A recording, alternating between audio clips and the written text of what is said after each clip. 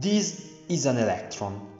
Electrons are one of the particles that made up our universe. One of the key properties of these particles is their negative electric charge. A charge is just a number associated with each particle. You can imagine the charge as this orange sphere around the electron.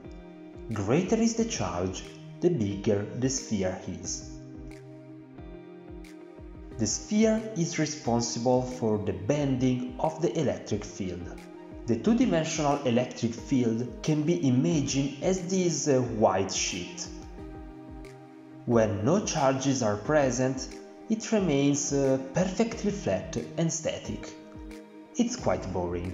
Let's insert our friend the electron in this two-dimensional space. Space bends, creating a small hole under the electron. This hole becomes bigger if the electron charge increases, and it shrinks if the charge decreases. The color and the curvature of the sheet let you better understand the strength of the field. If instead of a negative particle you use a proton or a positron characterized by a positive charge, then the paper bends upward.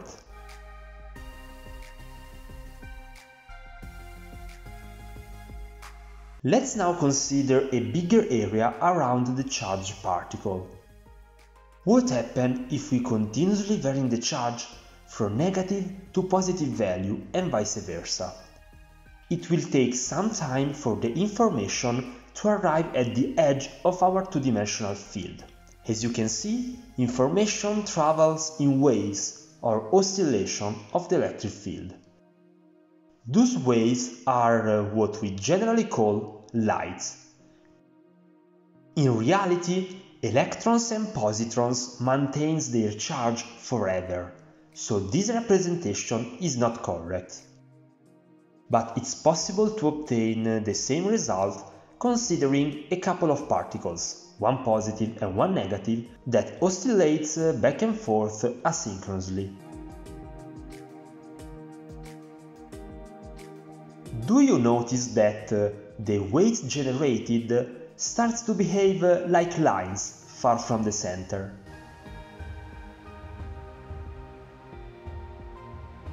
If we consider a three-dimensional world, those lines are indeed planes that propagate in a certain direction, and for this reason they are called plane waves. Plane waves are very important in a description of a lot of electromagnetic phenomena. Let's consider a new situation. A torch is uh, switched on to illuminate the environment. The light emitted by the torch can be easily represented by plane waves. Those plane waves continue forward their journey until they reach a wall. At this point, a bright circle appears on the wall. If we rotate the torch, we will change the direction of propagation of the plane waves that will so illuminate another point on the wall.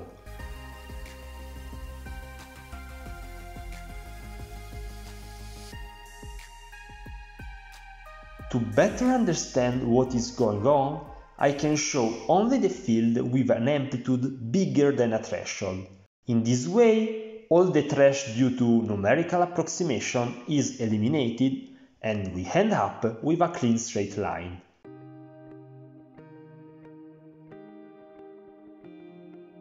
What happens now if I place a metallic body in front of the light? The electric field can penetrate a lot inside the body, and so the radiation is reflected.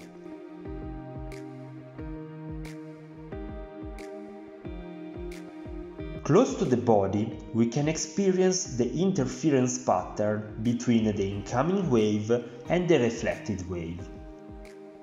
After this small region, the plane wave continues to propagate in the new direction that follows the reflection law. The angle of the reflected ray is equal to the angle of the incoming ray, in respect to the normal of our material.